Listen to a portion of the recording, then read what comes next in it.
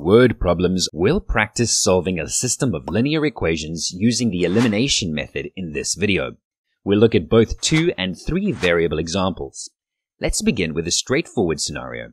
Assume that 2x plus y equals 5 and that 3x minus y equals 5. So how do we determine x and y's values?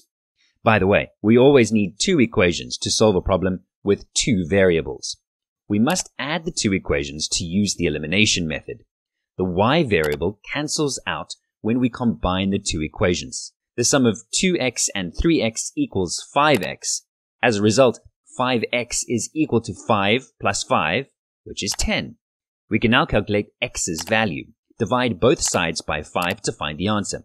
The answer is 1 if you divide 5 by 5. 10 divided by 5 equals 2, and 1x equals x.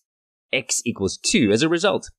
We must now plug the value of x into one of the original equations in order to obtain the y value. We'll start with the first equation. Find y by replacing x with 2. 2 times 2 is 4. The sum of the numbers 4 and y equals 5. We can find the value of y by subtracting both sides by 4. As a result, y equals 5 minus 4, which is 1. The answer can be written as 2 comma 1 as an ordered pair, x equals 2 and y equals 1 in this set of equations. Let's take a look at a different scenario. 5x plus 4y equals 22. 7x plus 6y equals 32. If you want to work on this example while watching the video, you can pause it now. Either x or y can be removed. Let's remove the y variable from the equation again. To do so, we must modify the two equations so that the y variables cancel when they are added together. To begin, we must determine the least common multiple among the numbers 4 and 6. 48, 12, and 16 are multiples of 4. 6, 12, and 18 are multiples of 6. In this case, 12 is the least common multiple.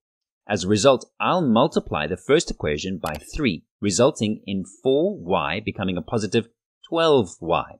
To get a negative 12, I'll multiply the second equation by negative 2. The sum of positive and negative 12y is 0. Let's get started. The first equation's variables are multiplied by 3. 3 times 5x equals 15x. 3 times 4y equals 12y, and 3 times 22 equals 66. Now let's multiply everything in the second equation by negative 2. Negative 2 times 7x equals negative 14x. Negative 2 times 6y equals negative 12y. And negative 2 times 32 equals negative 64. Let's add the two equations together now. The sum of 12y and minus 12y is 0, plus 66 and minus 64 equals 2. 15x plus the negative 14x equals 1x. x is equal to 2 as a result. Now let's use the first equation without involving 3. Start by replacing x with 2 and then calculate y. 5 times 2 is 10. After that, both sides must be subtracted by 10.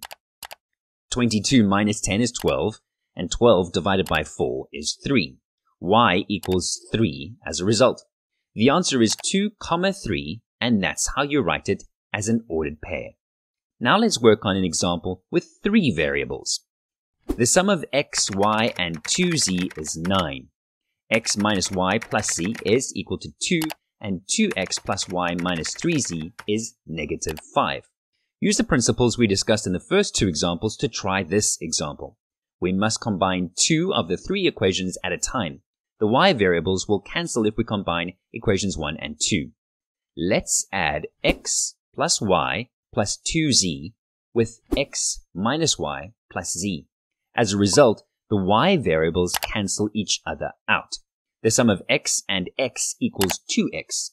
2z plus z equals 3z. The sum of 9 and 2 is 11. We're going to save this equation to use it later. Next, we'll apply equation 3 to our problem. We've already used equations 1 and 2, so we'll use equation 3 now. we need to cancel the same variable y so that we can get another equation with x and z, which we can combine with this one to solve for x and z. So in case what I said was unclear, we'll use equation 3 with the first or second equation. Cancel the same variable, y, so that we can get another equation in terms of x and z to combine it with this equation. Let's apply equations 2 and 3 to the situation. The y variables will cancel out if we add them together. The sum of x and 2x is 3x. z plus the negative 3z is a negative 2z, and 2 plus negative 5 is negative 3. Combine these two equations now. The z variables will be removed from the equation. Between 2 and 3, 6 is the least common multiple. Let's multiply this equation by 3 and this equation by 2 so 3x times 3 is 9x. Negative 2z multiplied by 3 equals negative 6z, and negative 3 multiplied by 3 equals negative 9. 2 times 2x is 4x, 2 times 3z is positive 6z, and 2 times 11 is 22. The sum of negative 6z and positive 6z is 0, and the sum of 9x and 4x is 13x. Similarly, negative 9 plus 22 or 22 minus 9 equals 13. We get x equal to 1 if we divide both sides by 13. Now that we have the value of x, let's calculate the value of z. Let's use the equation 2x plus 3z equals 11. Replace x with 1 before multiplying this equation by 2. As a result, 2 times 1 equals 2. After subtracting 2 from both sides, we get 3z which equals 9. 9 divided by 3 equals 3. As a result, z equals 3. The last thing we need to do now is figure out what y is worth. To do so, we'll use the first equation. Substitute 1 for x and 3 for z. 2 times 3 equals 6. 1 plus 6 equals 7.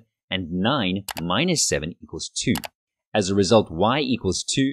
So in XYZ format, our answer will be 1 comma 2, comma 3.